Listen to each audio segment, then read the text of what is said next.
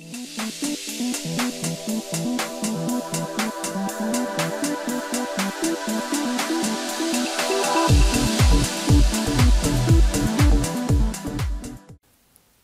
we're going to talk about how to properly back up your portal environment. Having a well-defined backup procedure is critical and we strongly recommend that you regularly back up your portal environment. It is especially important to take a backup of your portal environment before making significant configuration changes, like applying the latest CF, changing the security configuration, or running a configuration task. It is important to understand that in many scenarios it may be quicker to recover the portal environment to an operational state by restoring from a backup rather than troubleshooting the issue.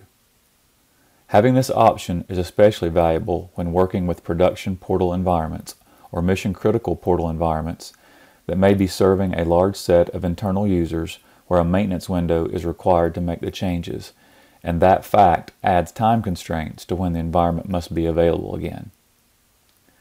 This video is intended to be a summary of the backup and restore information in the Portal Help Center.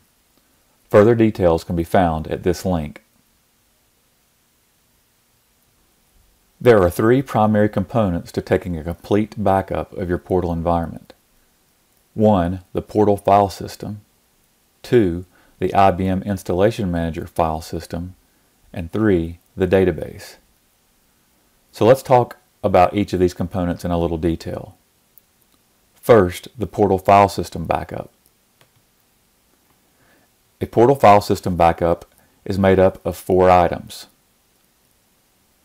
First, the Portal Server Root Directory. Second, the Portal Profile Root Directory. Third, the App Server Root Directory. And fourth, the config engine root directory.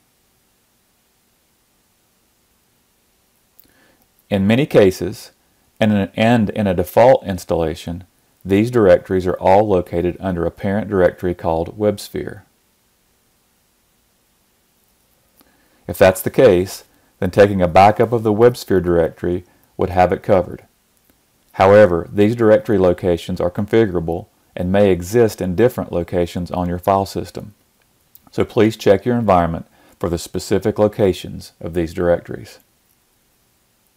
The second component is the IBM Installation Manager file system backup.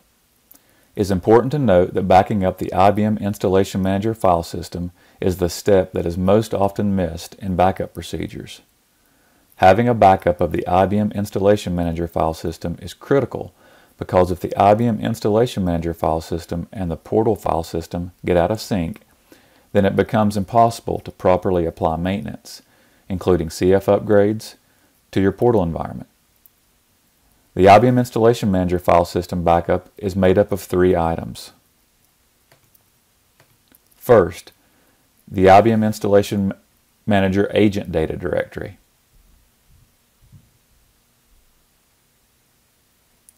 Second, the IBM Installation Manager install directory. And third, the IBM Installation Manager shared directory.